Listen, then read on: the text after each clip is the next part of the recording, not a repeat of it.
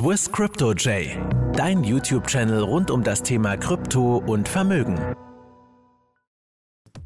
Einen wunderschönen guten Morgen, liebe Krypto-Family. Der komplette Aktien- und Kryptomarkt ist auf den Kopf gestellt. Die Thematik Corona, ja, die lässt uns nicht in Ruhe und ich denke auch in den kommenden zwei, drei Jahren wird es immer mehr ein Thema sein. Aber konzentrieren wir uns zurück auf die Charttechnik. Denn in der Charttechnik reden wir heute über M&W Patterns. Diese beiden Patterns sind sehr spannende Patterns und da gibt es einige Tipps und Tricks, die ich euch gerne mit auf den Weg geben möchte. Genauso wie ich eben diese auch trade und natürlich wie man die einigermaßen sicher traden kann. Zusätzlich haben wir Abweichungen zum Forex-Markt in diesem Pattern. Da möchte ich ebenfalls ein bisschen darauf eingehen, damit ihr auch das Verständnis habt von diesen Pattern. Viele da draußen posten ja oft mal ein W oder ein M-Pattern, sind sich aber dessen nicht wirklich bewusst, wie es eben aussehen kann. Aber ihr wisst Bescheid, zuerst kommt das Intro. Genau.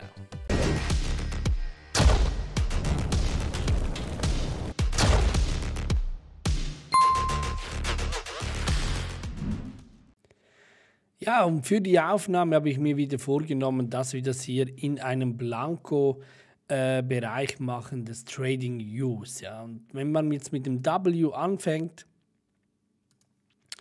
dann gibt es hier natürlich verschiedene Möglichkeiten, wie es eben aussehen könnte. Ja. Das ist natürlich hier jetzt typisch bilderbuchmäßig, ja, so wird natürlich ein W eher selten daherkommen. Aber was wichtig ist bei einem W, ist mal auf jeden Fall den Double Button. Dieser Double Button, der zeigt mir eine sehr, sehr bullische Tendenz und gibt mir eigentlich die Möglichkeit, so nehmen wir das ein bisschen rüber, dass wir hier auch was planen können. Natürlich muss man jetzt aber auch hier fairerweise sagen, dass es für Anfänger nicht zu empfehlen ist, ein, ein Double Button so zu traden. Okay, also man hat hier einen ersten Support im Sinne eines Hammers zum Beispiel, wo man eine Trendwende sieht und wir werden hier das erste V bilden.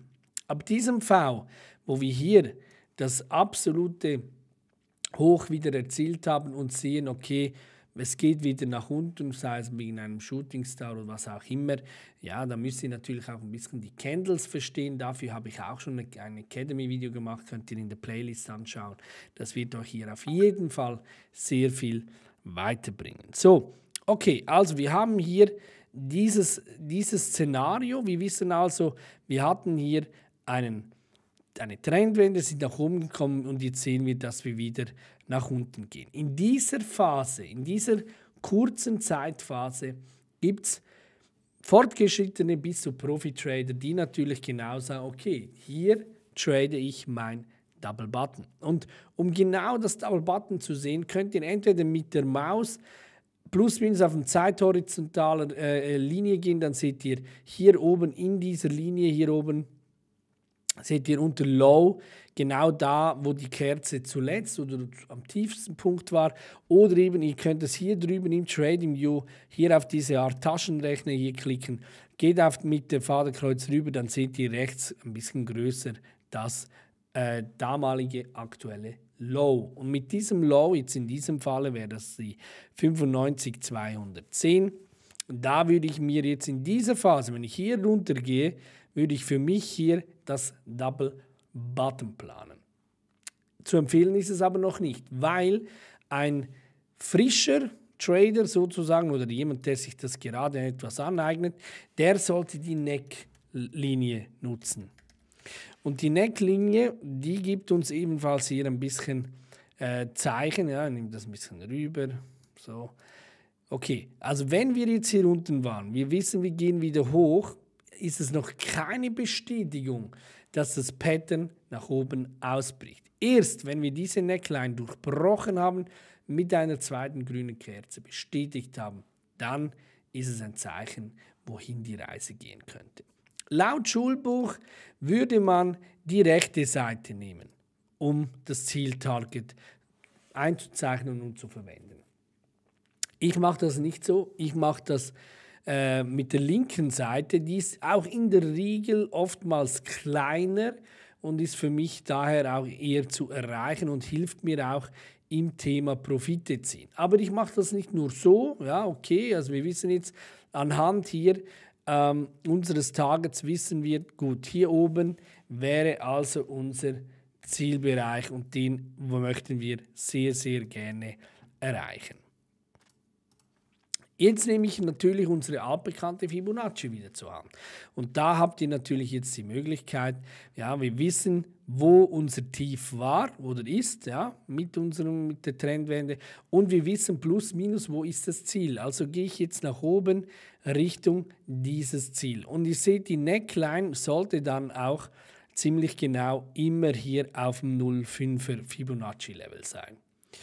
Nun, was gibt es jetzt mir für Hilfestellungen? Die Hilfestellungen sind relativ gut. Wir wissen, wir sind hier ausgebrochen, bestätigen, somit wissen wir, das Pattern ist aktiv.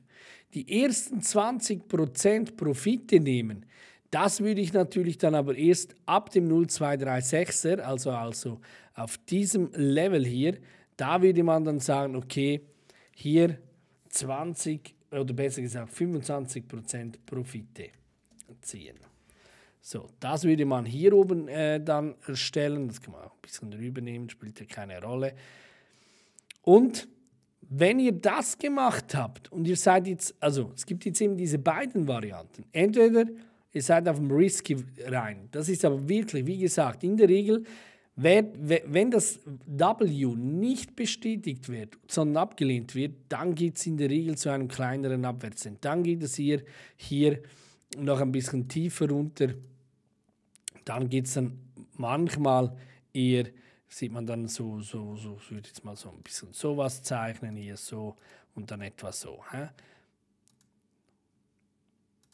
So, also, das sehr, sehr wichtig. Also dieses Szenario müsst ihr dann auch im Griff haben. Das heißt, ihr könnt, man kann da zwar einsteigen, viele machen dann auch einen Trailing Stop und wenn man dann darüber ist, dann nimmt man den Trailing Stop wieder raus, lasst den ganzen Trade weiterfahren und zieht dann seinen Stop Loss nach.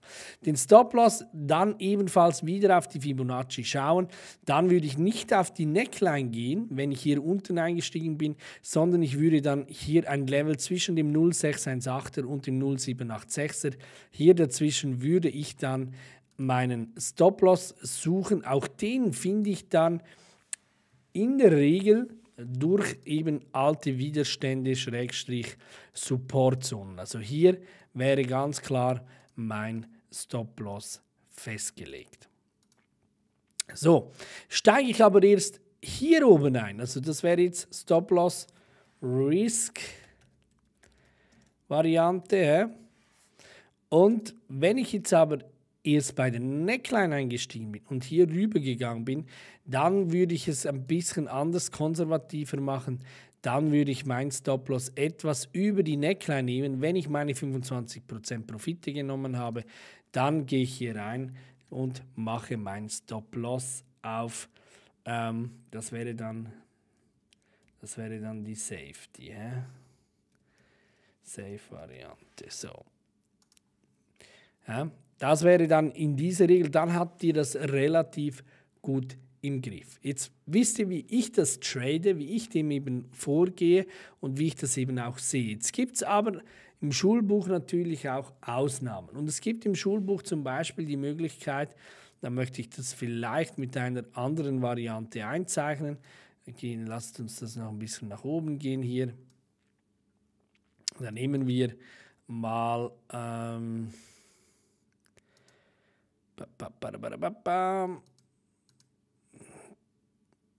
Parallel-Channel, genau. So. Also man hat zum Beispiel auch bei einem Aufwärtstrend-Kanal gibt es auch die Möglichkeit, dass es ein W gibt. Hier soll ich, möchte ich euch jetzt aber gleich etwas vorab sagen. Umso ungenauer das Double Bottom ist, umso größer die Abweichung des Zieltargets. Insbesondere spürt man das im Kryptomarkt. Bei Forex-Markt hat das in der Regel manchmal noch ein bisschen Gewichtung. Das liegt vielleicht auch darin, dass wir sehr, sehr junge, unerfahrene Trader haben, die sich einfach ein bisschen informieren im Internet, was ein Double Bottom, okay, ich, ich logge mich da mal ein. Es ist schwierig, es ist eher spekulativ, das zu sagen. Nun ja, es gibt also auch die Möglichkeit bei einem äh, Aufwärtstrend oder auch bei einem Abwärtstrend dieses Ganze hier zu äh, prüfen. Nun wäre natürlich hier die Trendlinie dann diagonal und auch hier das Zieltarget dann wieder äh, auf diese Richtung. Jetzt will ich aber hier noch einmal etwas vorab sagen und zwar diese Zieltargets bei diesen äh, Bereichen hier empfehle ich nicht zu traden. Der Grund dafür, wir bilden dann in der Regel bilden wir Rising Wedges, hier jetzt bei einem Aufwärtskanal, oder wir bilden dann Falling Wedges bei einem äh, Abwärtskanal. Und da empfehle ich eher, schaut euch lieber auf dieses Szenario als ein W zu suchen in einem, ja, ich sage jetzt mal, ähm, Glöckner von Notre Dame Modus. Ja, also das würde ich nicht empfehlen. Versucht da wirklich da es, dass es mal Abweichungen geben kann bei einem W von einigen paar hundert Dollar, ja, bei Bitcoin ist das möglich und das ist auch absolut in Ordnung, weil ihr dürft eins nicht vergessen, diese ganzen Krypto-Exchanges sind nicht, es ist nicht ein Preis wie bei Forex, ja, wo überall der gleiche ist, sondern wir haben Crypto-Space Exchanges und die variieren untereinander mit einigen äh, 100 Dollar. Aus diesem Grund kann natürlich auch hier mal eine leichte Abweichung stattfinden. Das zu W. Bei Double M ähnliches Szenario. Also da ist es halt wirklich so, dass man von einem Double Top spricht. Okay? So, wir machen. So, voilà. Das Double Top ist genau das gleiche wie das Button. In dem Falle hätten wir hier oben die gleichen Berührungspunkte. Ja, so. Double Top. Weil, was ist denn hier passiert? Wir sind hier hochgegangen. Die Bullen haben entweder die Trades geschlossen oder, oder Sie haben Profite genommen. Gleichzeitig sind natürlich die Bären, insbesondere bei einem Double M, in Stellung. Das darf man nicht vergessen. Also die sehen genau diese Variation hier. Wo habe ich meinen Pinsel? Wo ist er wo? Wo ist er wo? Wo ist er wo? Wo ist er wo? Hier. Die haben genau dieses Szenario hier, beobachten sie. Und wenn sie das hier sehen und wir gehen wieder hoch, dann platzieren sie sich genau an dieser Stelle für eben die Shorts, die dann nach unten gehen. Das ist auch wieder eine klare strategische Geschichte. Natürlich, wenn jetzt wieder sowas kommt wie was wir gestern gehabt haben mit dem ganzen Abverkauf der Börsen aus Angst eben wieder ein neuer Corona-Fall oder Indien, was auch immer, dann ist oft halt eben die technische Chartanalyse ja, weniger wert sozusagen. Nichts, nichts wert, aber einfach weniger wert. Aber sobald der Markt wieder schön reguliert und gut läuft, dann sind das eben genau die Zeichen, die man eben nutzen kann. Genau das gleiche wäre dann wieder mit der Neckline. Auch die brauchen wir dann wieder. Ja, das gleiche Spiel beginnt hier und wir hätten dann ebenfalls zuerst das Zieltarget, was wir eben umsetzen setzen das bei uns auf die Neckline, gehen dann wieder, nehmen wieder die Fibonacci, gehen auf unser Zieltarget hin. Wir sehen dann auch wieder die Akkumulationszone, auch hier sehr wichtig. Das bedeutet, wir holen hier genau das gleiche Beispiel ab diesem Zeitpunkt wieder die 25% Profite.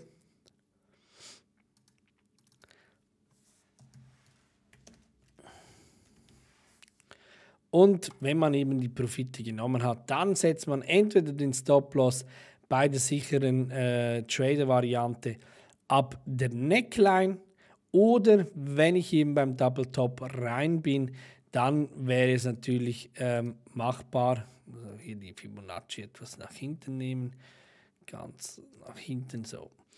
Oder eben beim Double Top, wenn ich hier reingehe, dann ziehe ich es wieder dazwischen hier, hole meine 25% Profit heraus und bin hier safe. Auch das gleiche ist hier mit Auf- und Abwärtstrend. Versucht da immer ein anderes Pattern zu, zu suchen. Meine Empfehlung. Primär kann man es äh, diagonal einzeichnen. Es geht mit gewissen Abweichungen. Das Zieltarget ist bei 95% dann nicht mehr das, was Sie eben einzeichnen, sondern es verschiebt sich dementsprechend. So, das war alles rund um das Thema M und W Pattern. Ich hoffe, ich konnte das euch ein wenig genauer erklären. Wenn wir wieder ein solches Pattern im aktuellen Chart haben, dann reden wir natürlich aktuell wieder über dieses Thema. Dann kann ich euch Parallelen aufzeigen zu dieser Lehrstunde. So, ja, mir gibt es dazu nichts zu sagen. Wenn euch das Video gefallen hat, lasst einen Daumen da, Kommentar hätte ich allgemein sehr, sehr gerne. Wenn du noch nicht bei uns in der Telegram-Gruppe bist, komm vorbei, diskutiere mit uns. Ich würde mich freuen, dich da begrüßen zu dürfen. Und gleichzeitig lass bei mir ein Abo da und aktiviert die Glocke, um keine solche Videos mehr zu verpassen. Ich sage Tschüss aus der Schweiz und bis zum nächsten Video. Ciao zusammen.